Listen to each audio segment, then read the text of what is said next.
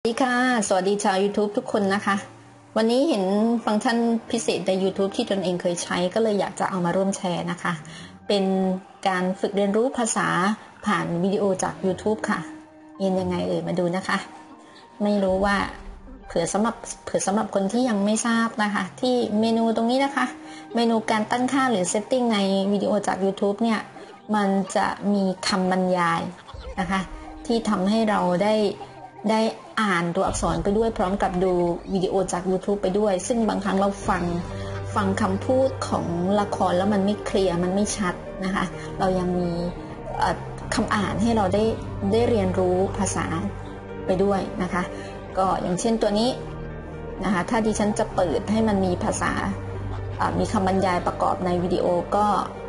มาที่นี่นะคะ ตั้งค่าที่นี้คลิปนี้มันจะมีคำบรรยายเป็นภาษาอังกฤษอย่างเดียวก็เลือกเป็นภาษาอังกฤษนะคะนะคะตรงนี้มันก็จะมีคำบรรยายปรากฏให้เราได้เรียนรู้ภาษาไปด้วย ถ้าเกิดว่าเราอยากปิดนะคะ ไม่อยากให้มันมีคำบรรยายก็มาที่ setting หรือการตั้งค่าแล้วก็เลือกเป็นปิดนะคะคำบรรยายเหล่านี้ก็จะหายไปนะคะ ทีนี้ เราจะรู้ได้ยังไงว่าวิดีโอไหนมีคำบรรยายบ้างก็ไม่ยากนะคะ สมมติว่าเรามาที่ YouTube อีกยกตัวอย่างนะคะที่ฉันจะค้นหาวิดีโอที่ที่มีคำบรรยายนะ สมมติว่าหาเรื่องอะไร Black Jack มีการ์ตูนเรื่องนี้ที่ที่ชอบใจมากเลยพระเอกเป็นหมอ อืม ใช่สิ B L A C K โอ้หายตัวเอง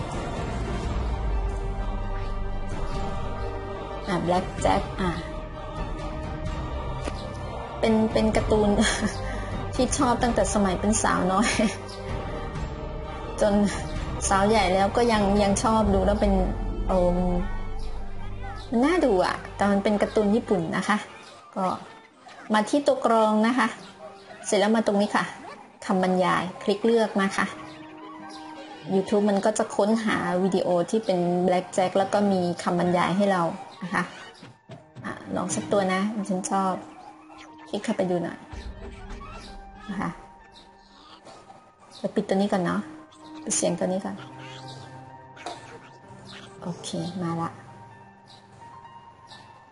Black Jack ภาษาไทยเขาแปลว่าอะไร อะไรหมอปีศาจนี่แหละน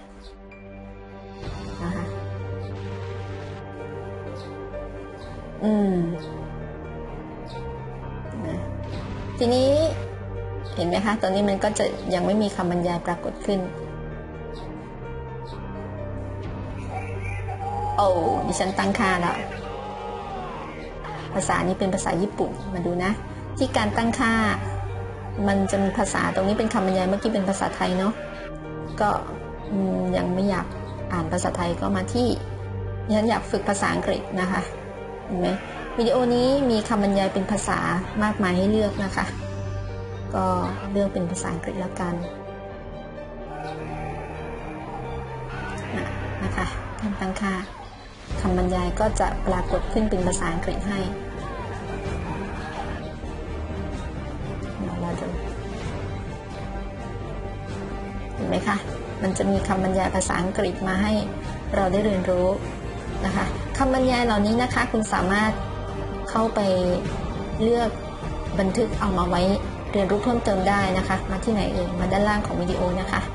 มาที่เพิ่มเติมตรงนี้ การถอดเสียงค่ะเลือกการถอดเสียง ก็เลือกการถอดเสียงเป็นภาษาที่คุณอยากเรียนเพิ่มนะคะ สมมติว่าดิฉันเลือกภาษาอังกฤษ ด้านล่างตรงนี้ก็จะมีจะมีคำอธิบายเป็นภาษาอังกฤษ นะ เป็นวินาทีแต่ละจบแต่ละเฟรมของเขา คุณก็อาจจะใช้วิธีการเลือกคัดลอกนะคะ เลื่อนมาข้างล่างแล้วคัดลอกเลย คัดลอกให้หมด เสร็จแล้วก็อาจจะเอาไปใช้งานโดยเอาวางใน Microsoft Word นะคะ แล้วก็เอาไปเรียนเพิ่มเติมก็ได้นะคะ เอาไปอ่านเพิ่มเติมนะคะแปลความหมาย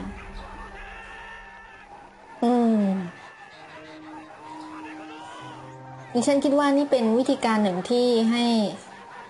เราเราท่านท่านได้เรียนรู้ภาษานอกจากได้รับความสนุกสนานอย่างเดียว ก็ไม่ดีนักได้เรียนรู้ไปด้วย ถือว่าได้ทั้งประโยชน์ทั้งสองด้านนะคะ ก็สำหรับใครที่ชอบดู YouTube เหมือนกันก็ลองเอาไปใช้ดูนะคะ ถ้าเห็นว่าคลิปนี้มีประโยชน์อย่าลืมไลค์หรือแชร์ไปด้วยนะคะ ขอบคุณที่ติดตามรับชมนะคะ สวัสดีค่ะ